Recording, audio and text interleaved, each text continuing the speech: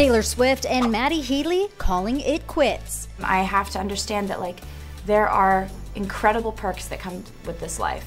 There are also really heavy pressures that come with this life, and you just have to try to balance them.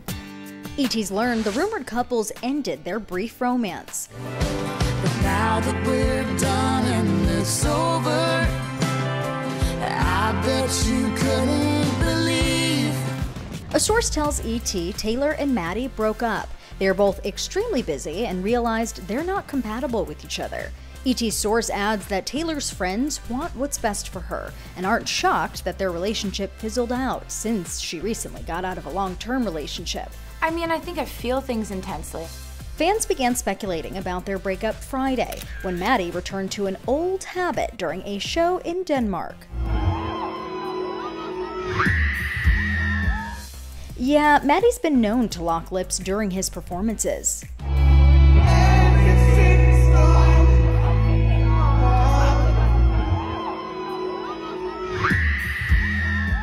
Yep, definitely giving single vibes. I see my life hopefully getting to a place where I can uh, evolve and change.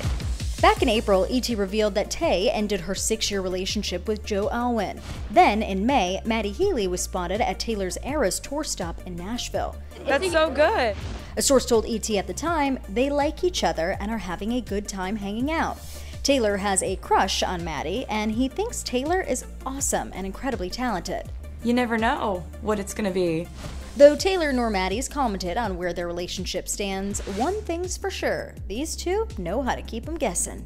I would always like to keep people on their toes in that regard. I think that's the best way to be exciting.